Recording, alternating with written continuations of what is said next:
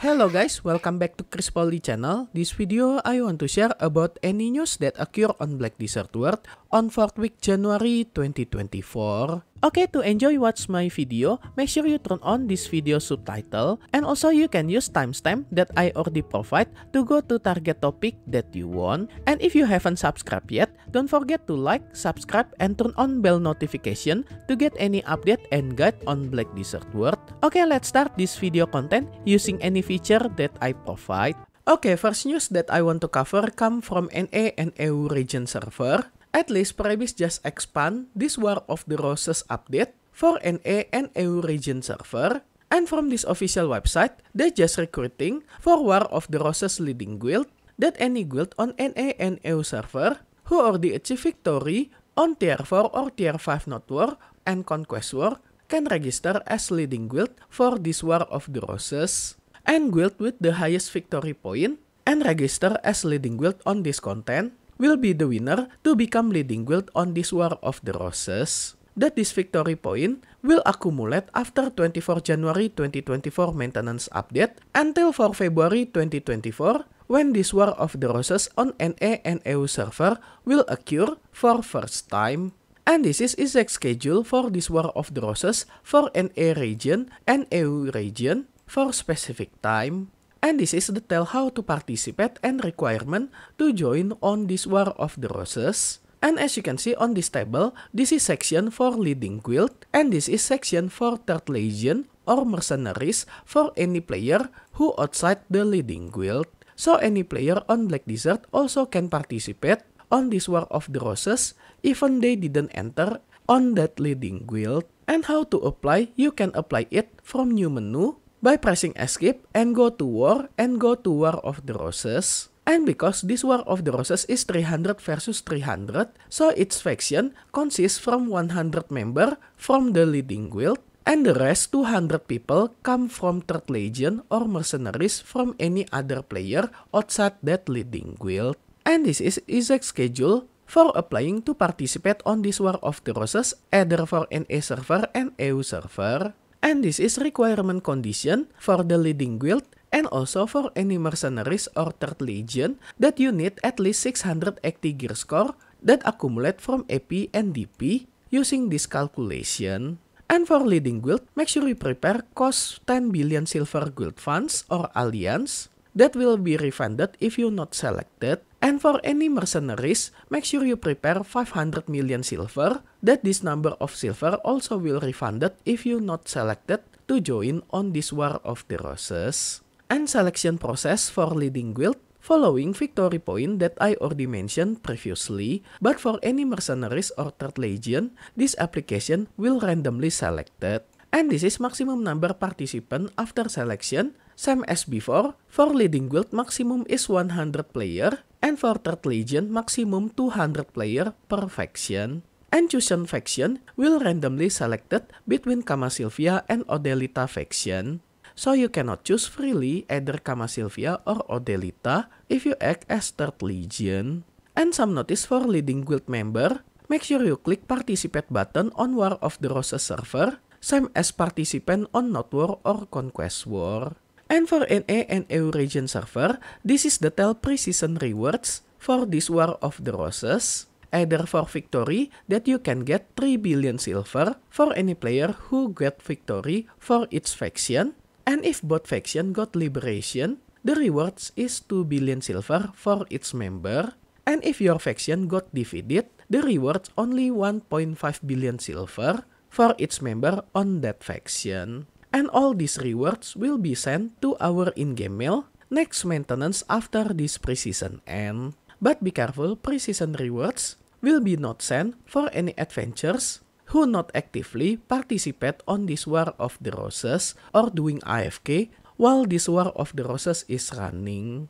So if you play on NA and EU server, make sure you prepare anything to join on this War of the Roses event that will occur at 4th February 2024. And if you haven't know about this War of the Roses, this is PvP content 300 versus 300 that Prebis just start to implement to our live server worldwide gradually. And more detail about this story, you can check on this video for more detail that you can find this video on this video description. And next, some information for upcoming region update for south of Ulukita. I got this information from official social media of Black Desert Online. They, just share this post about southern part of Ulukita update. And if you want to know more detail about south of Ulukita content, previously I already share about preview for this region update on this special video that I talking about new city, new monster zone, maximum energy expansion that you can get, and also some any other content on the sort of Ulukita expansion update. So for more detail about this upcoming content to prepare, you can check on this video. And when I record this video, I also mention any NPC on the sort of Ulukita or the full voiceover in English version. Even this content just released on Korea live server. So I think this sort of Ulukita update will release around this February 2024. So make sure you check this video to prepare anything for this upcoming new content.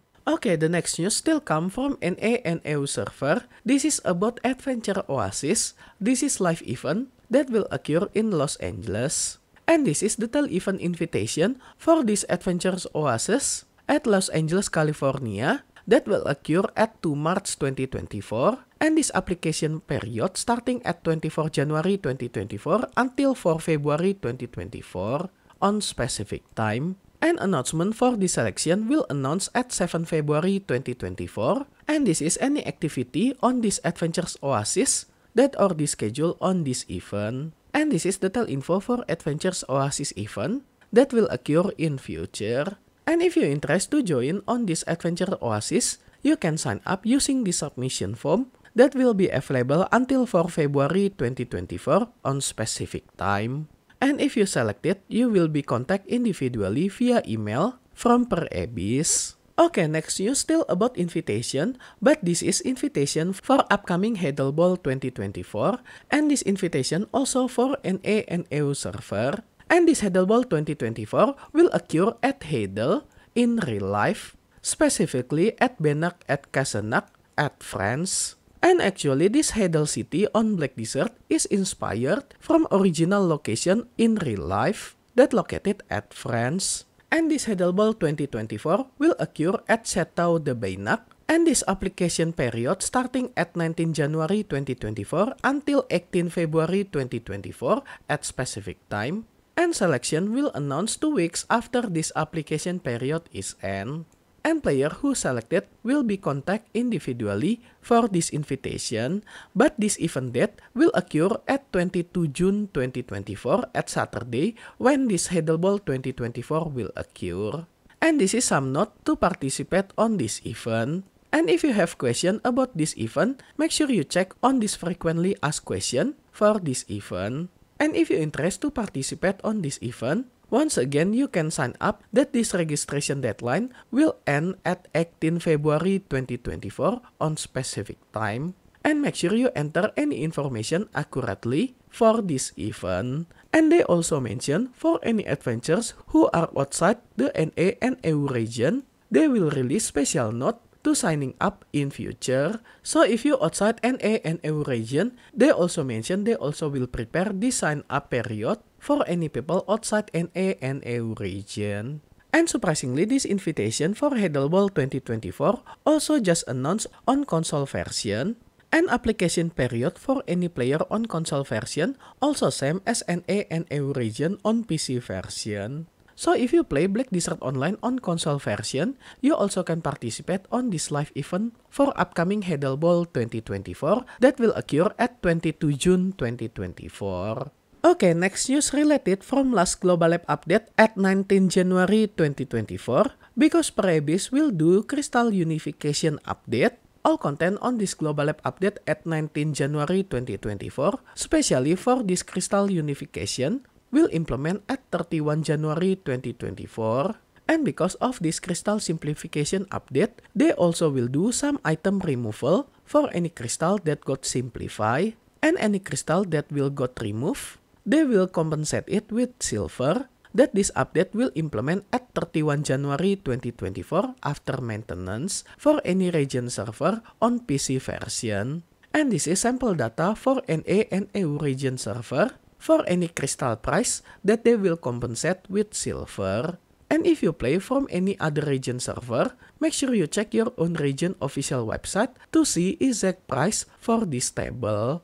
And this price is based on central market price on specific region server at 19 January 2024 when they release this announcement. But take notice any crystal that they will delete and also compensation for this content.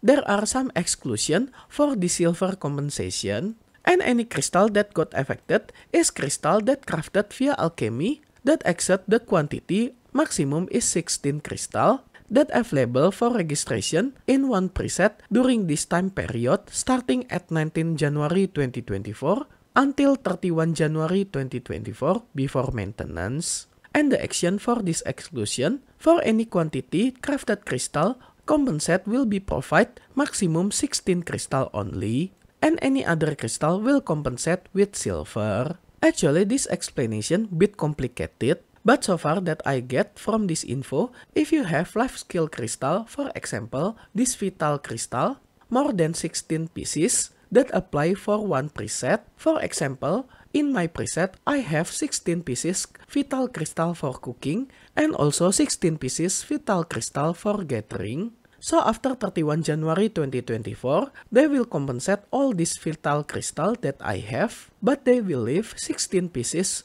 vital crystal with simplified version that they will update at 31 January 2024. So in my case, if I have these two preset crystal for this vital crystal, because they will simplify this kind of vital crystal to become one type, they will compensate all my crystal to become silver and they will send new vital crystal that already unified 16 pieces to my in-game mail. And actually this update already implement on Korea Live server and as you can see this is the tell example for calculation for this compensation that they will compensate all type of this crystal to become silver and we will receive 16 pieces new crystal if you have more than 16 crystal for this content and detailed explanation you can check on this screen. And there are some type of crystal that got excluded from this exclusion, either any kind of magic crystal of infinity, black magic crystal hysteria,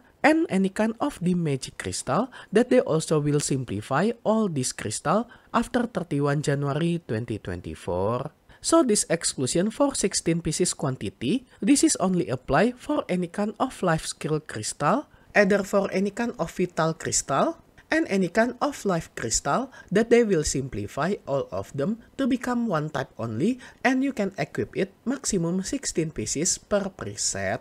And some information for any Black Desert Online player on console version, they also mention the same thing for this removal for simplification crystal that all this content on Black Desert console version also still same as PC version. But the difference for Black Desert console version, this simplification update will occur at 21 February 2024 after maintenance. So this is difference almost one month between PC and console version. Because for any region on PC version, this update will occur at 31 January 2024 maintenance update and for console version will occur at 21 February 2024. But at least for console version, you can prepare anything from now. Okay, next news continuous update for progression releasing Black Desert Online on China region because the last update information for Per Abyss attempt releasing this Black Desert Online PC version on China region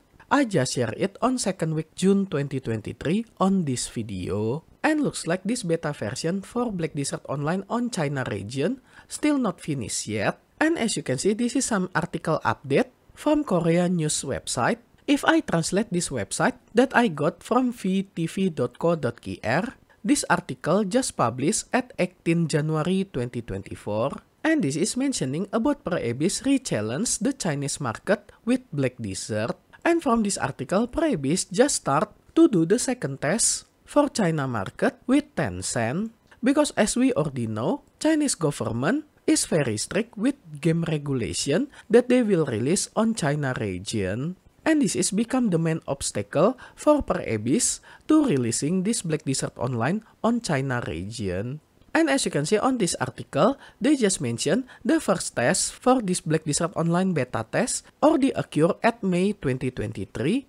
This is become source of information that I explaining at second week June 2023. And for penetrate Black Desert on China region, Prebis just collaboration with Tencent to release Black Desert Online for PC and console version. And once again, they predict Chinese government for new gaming regulation will become obstacle for entering Chinese market for Black Desert Online.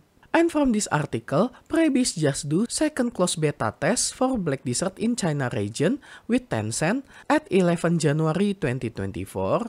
This is 8 months since May last year 2023. But sadly, detailed information for the second test not been disclosed so they didn't announce to public result for the second beta test. But as we already know, currently Black Desert Online still not issued to public on China market. But even looks like very hard to penetrate China market for this Black Desert Online by Prebis. Prebis will not give up to try to entering China market for this Black Desert Online with many adjustment that they need to prepare following government regulation on China. So just hope this Prebis effort will successful in future. And if Prebis success to release Black Desert Online on China market, I'm sure they will releasing the signature class for China region for any region server worldwide in future. That we already know about this unique class that currently only release on Black Desert Mobile on China region.